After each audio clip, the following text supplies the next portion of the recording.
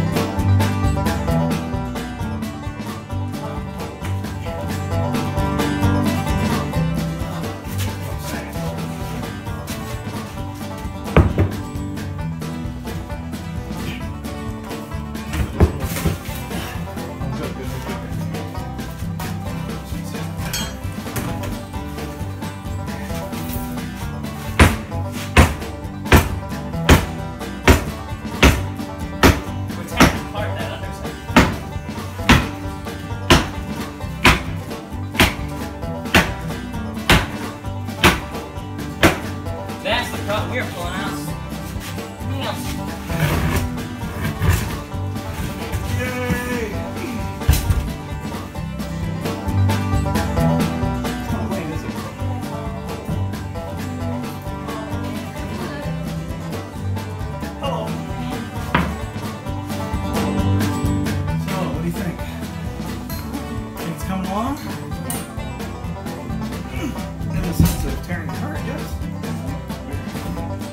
Good at tearing apart things. Well, then again, we're not really even good at that. Good at breaking things. Just too long.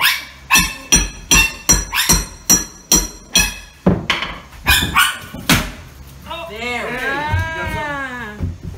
Got something there. I can Okay, probably that's work good. with That's that. good. Now go to the. Wait, keep, keep it up. I can probably work with that. Yeah, I gotta keep it up right here.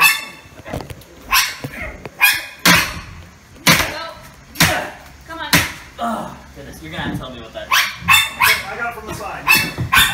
One, two, three. Ah. Yay!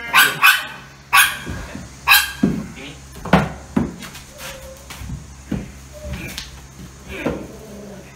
You live full pound. Okay.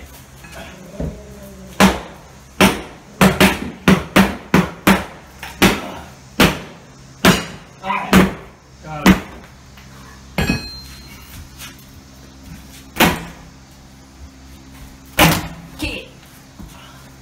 Yeah. Okay, what you see below me is the last of the subfloor that we've torn out.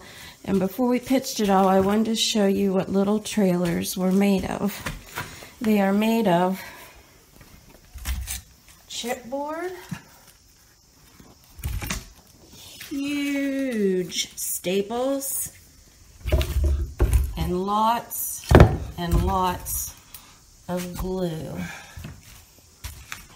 So demo in a trailer that is made this way is much harder than demo in a traditional stick-built house. And I'm going to put my hand down here so you can get a view.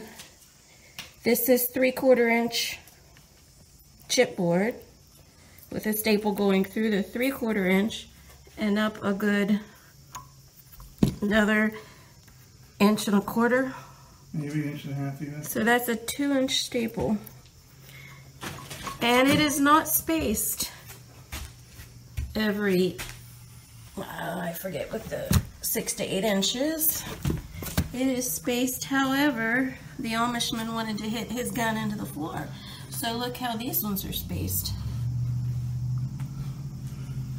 And that is why, friends, taking up this subfloor has been such a nightmare. But this is the last of it. Hallelujah.